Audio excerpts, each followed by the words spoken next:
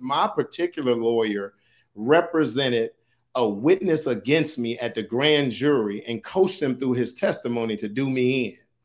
I didn't find that out until I just happened to be studying um, the discovery material about two weeks before the trial began. And the guy on the stand kept saying, Can I ask Mr. Tom- Thomas, can I step out and ask Mr. Thomas a question? I didn't think anything of it when I saw him. My, my lawyer's name was Thomas. Right. So I just called him and I said, Hey, hey, man, um, did you represent such and such at the grand jury? I don't have to tell you about that. I hung up the phone. I was in Dallas living at the time.